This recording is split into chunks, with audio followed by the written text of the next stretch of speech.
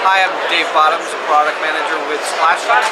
And here at the CES show uh, 2011, we're introducing uh, Splashtop Remote for Android and for Windows. We'll be announcing it tomorrow.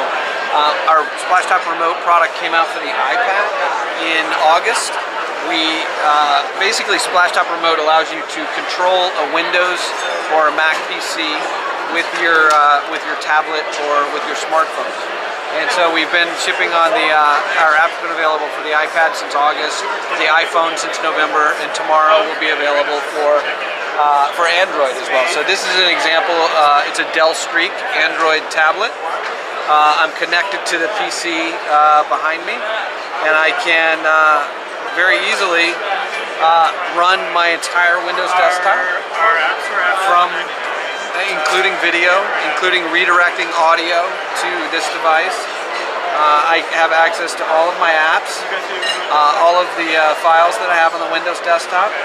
So that's an example of the Dell Streak. Uh, this is a, a version, uh, it's prototype hardware, but it's running uh, Windows 7 and an example of our Splashtop remote client connected and unfortunately we don't have another PC that it's connected to.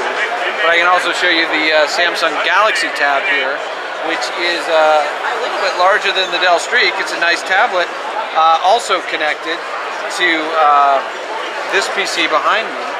Uh, and we'll just do a, a, short example. Obviously I can get all of my Windows apps, uh, but let's see if we can play a video here.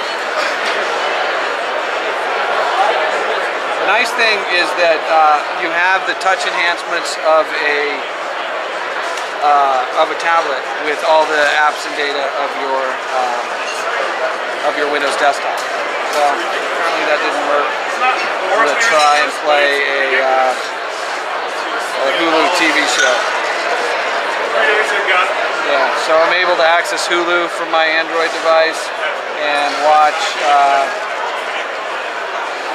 Watch that video, streaming flash, right from my PC.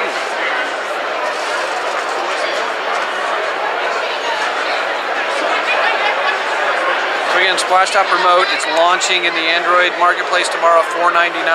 It's $1.99 uh, for the iPad app. It's been out for a, a, couple of months. It's one of the top selling apps uh, in the App Store. And uh, thank you very much for your time.